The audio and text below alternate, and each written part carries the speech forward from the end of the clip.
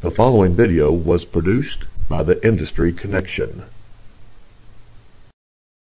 Phoenix Pollution Control and Environmental Services recently assisted in an emergency response operation involving a petroleum-based product that had spilled into the floodwater drainage system of an industrial complex.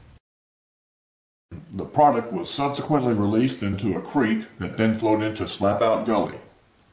Response crews began booming operations at the mouth of the gully, working their way upstream, while another crew was working from the source and downstream, implementing hard and absorbent boom.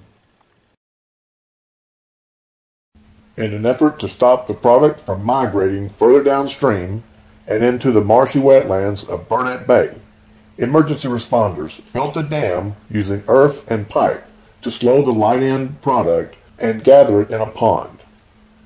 As the product ran into the pond, responders soaked up the petroleum-based product using absorbent boom and sweep.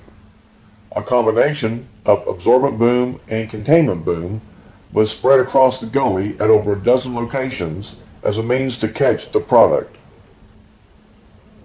The spill occurred approximately three miles upstream, and the dam location was built just over one mile from the beginning of the wetlands.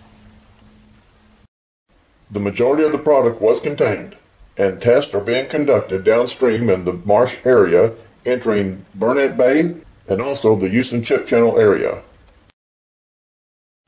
For 24 hours, 7 day a week emergency call out, dial 281 838 3400 or see us on the web at phoenixpollution.com.